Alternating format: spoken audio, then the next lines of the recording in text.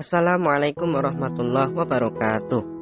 Sahabat-sahabat YouTube semuanya yang dirahmati oleh Allah Subhanahu wa taala. Pusat kebahagiaan terletak di dalam hati. Oleh sebab itu, tidak ada yang tahu apakah kita bahagia atau tidak.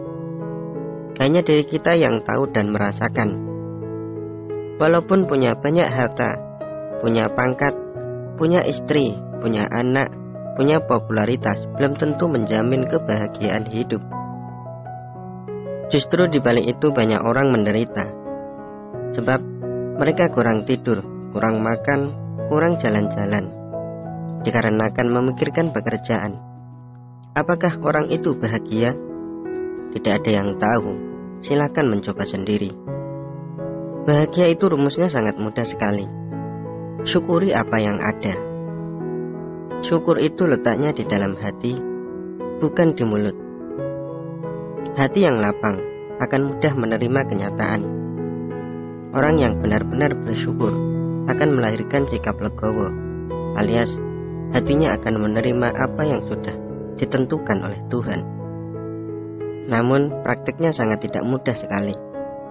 Coba Anda ketika lapar, di dapur adanya hanya nasi sama garam apa yang Anda lakukan? Anda jadi makan atau tidak makan? Kalau mau syukur, maka apa adanya ya dimakan. Tidak boleh marah, tidak boleh benci, kemudian menganggap hidup ini sangat tidak enak, atau justru malah berburuk sangka kepada Tuhan. Tuhan dianggap tidak adil. Ada nasi sama garam ya dimakan. Tanamkan dalam hati. Alhamdulillah, masih ada nasi dan garam. Ini adalah pemberian Tuhan agar aku tidak lapar. Lihatlah orang di sana, banyak kelaparan sampai meminta-minta. Dan bahkan sampai meninggal dunia pun ada. Beruntung detik ini. Hari ini Tuhan sangat sayang kepadaku. Aku masih bisa makan. Andaikan ada makanan banyak, tapi mulut tidak bisa digerakkan seperti orang sakit stroke, tentu kurang nyaman. Namun hari ini mulutku masih bisa digunakan makan. Tanganku masih bisa digunakan untuk menyuap nasi. Dan lambungku masih bisa untuk menampung makananku. Biasakan diri, biasakan diri, hati diajak berpikir seperti itu dalam hal apa pun. Saat merenung sendirian, melihat pohon misalnya, Alhamdulillah, Aku masih bisa melihat pohon.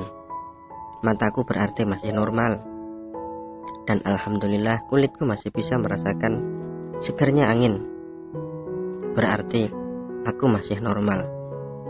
Lama-lama apabila engkau melakukan itu, engkau akan dekat dengan Tuhan Sang Pencipta alam. Bila dekat dengan cara syukur ini, hidupmu akan bahagia. Tidak perlu menunggu punya mobil baru kemudian kamu bahagia. Itulah bahagia dengan cara simpel namun tidak mudah untuk dilakukan. Wassalamualaikum warahmatullahi wabarakatuh.